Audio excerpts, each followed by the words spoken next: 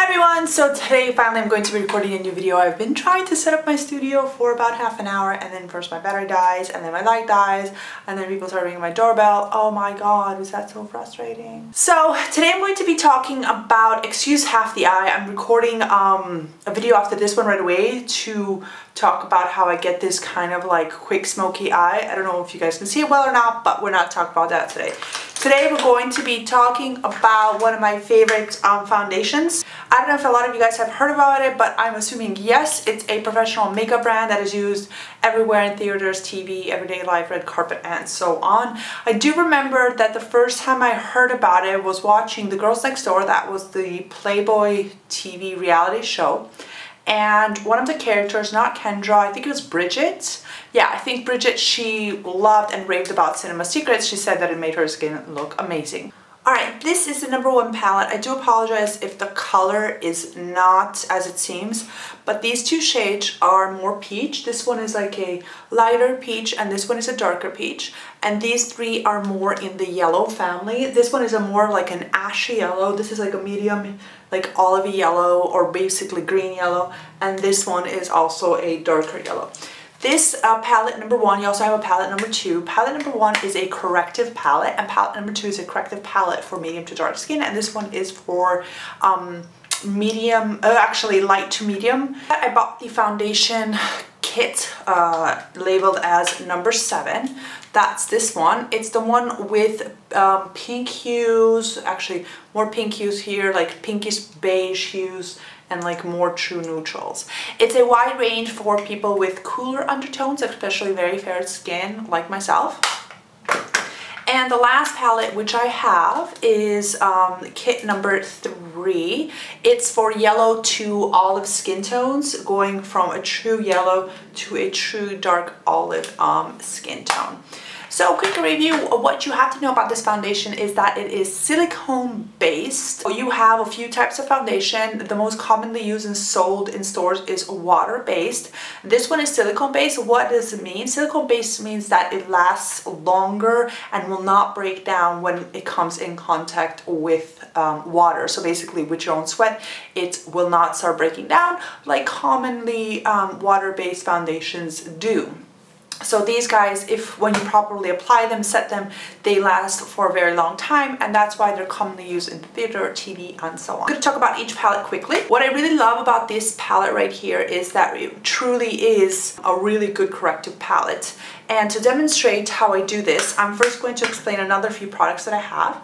It's the Cinema Secrets Ultimate Primer, which I think is a really good primer. Say if you have a lot of pores and you like to apply powder foundation, this is also really good because it's going to fill in your pores, it's going to even out your skin's texture. Then you apply just a powder, a loose powder or a pressed powder on your face, and then your skin's going to look very nice and smooth. And another product which I'm crazy about is a Cinema Secret Moisture Spray. For some it might be expensive because this, I don't know if the, there's a bigger bottle in this, but this is the one that I got.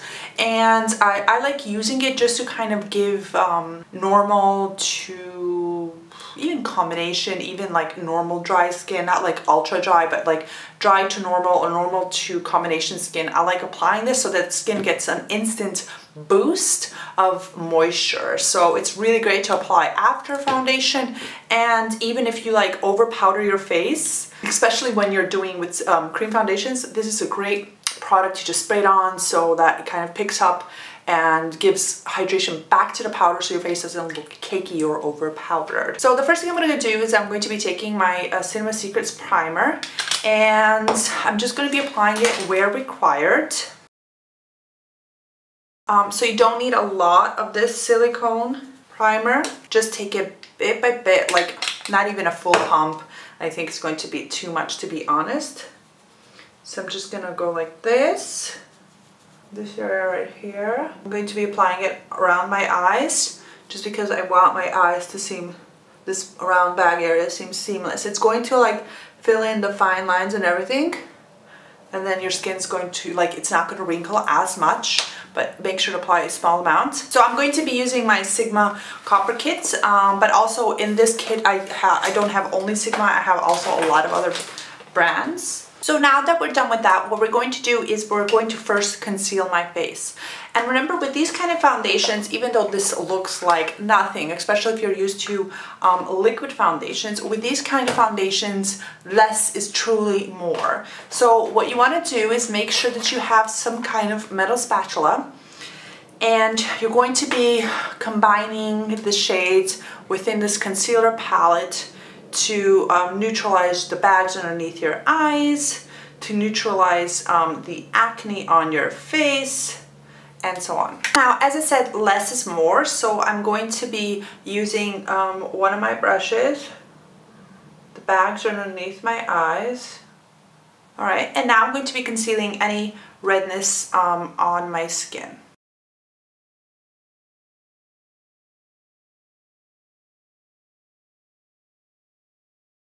Okay, so um, if my face looks like it has 12 different colors, that's okay, just, just because we've just now concealed my face. So now I'm going to be taking my Sigma round top kabuki brush in F82 and this is a little trick that I love using.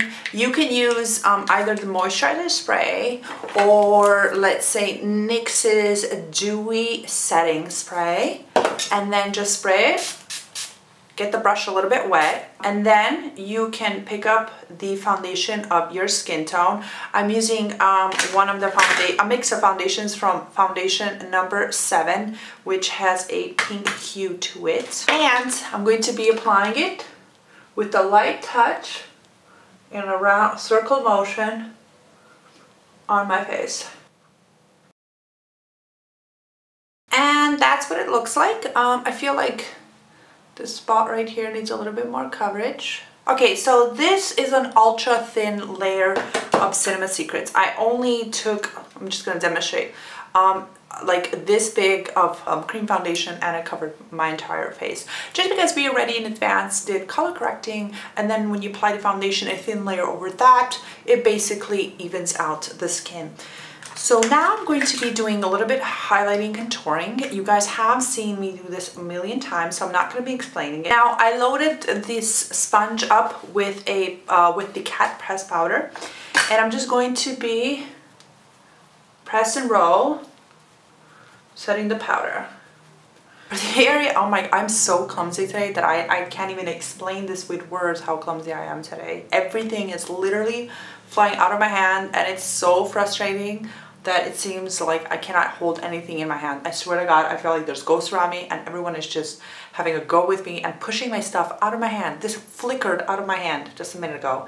Okay, anyways, I'm going to be taking um, a normal latex or non-latex sponge and I'm going to be pushing it like this in the half. I'm going to be pressing it into my below eye area Usually if I don't have a sponge available or if I don't want to use a sponge, this is the brush that I use, which I just saw was clean. I thought it was dirty. My favorite Kabuki brush in F, F86. I cannot speak and do anything normal today. This is ridiculous. And I usually like set it like this. This is how I set it.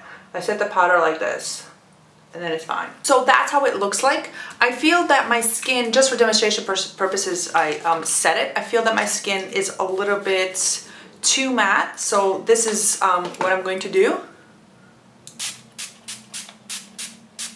Just a light mist. Maybe that was more than a light mist. And then I'm just going to take the foundation brush I used earlier and lightly push the mist into my face.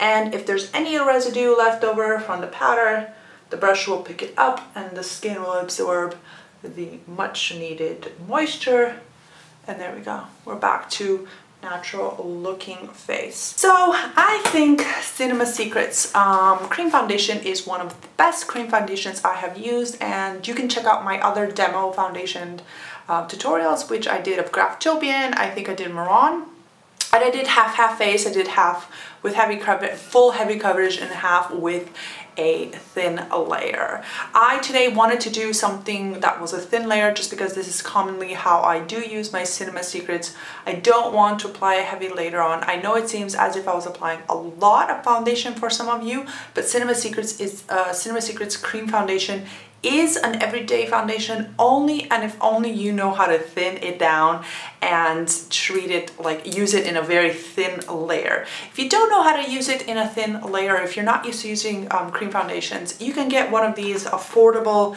small little um, kits, uh, just depending on what your skin tone is. You can leave a comment below, tell me what your skin tone is, and I can recommend, um, actually make sure to mention not only your skin tone, but your undertone so that I can recommend which palette is ideal for you. On its own, it covers a lot of redness and a lot of imperfections. The corrective palette, number one, I don't use as much unless I'm talking about bags or some very, very noticeable redness like acne, like fresh new acne. But in general, this is the foundation I reach for every day and I reach for most on a lot of my shoots and so on. It's one of my favorite, favorite brands when it comes to cream foundations. I just recently bought uh, RCMA's foundation and I can't wait to test it, but I didn't buy my skin tone. I bought it in um, olive skin tones, more for my clients and shoots. Also, I love these two products from Cinema Secrets. This is kind of like a Cinema Secret haul. Um, I'm hoping from to try from Cinema Secrets also their loose powders and I don't know what else, I don't know what else I would try, but for now I'm looking at their loose powders because I'm really interested. Usually like when companies, they um, throw out like, you know, like foundations, primers and so on, I don't like buying this like the entire kit, let's put it like this, but Cinema Secrets is one of those brands um, which has proven to itself that um, the products play well together because they were intended like that. And uh, I don't have to stray far away from Cinema Secrets to find everything I need to make the foundation work. Overall, this foundation is a five kisses from me. Actually, I just did 10. It's a five kisses from me. I highly recommend it for my pro makeup artists, for aspiring makeup artists, for makeup artists in school. It just does take a little while to get used to, to the cream, um, to the cream foundation. Make sure that the skin of the person that you're applying this foundation to is well moisturized or maybe you can use the moisturizer spray to kind of kickstart it and then apply the foundation. The foundation really doesn't need a lot of thinning. It's uh, emollient and smooth as it is and I'm extremely happy about it. Okay guys, that's it. Thank you guys so much for watching. Don't forget to check back Tuesdays and Fridays. I hope you enjoyed this. If you did, subscribe and the rest you know what to do. Don't forget to leave a comment below if you're interested in Cinema Secrets and need some advice maybe of which, which kit to buy or any other product of their own.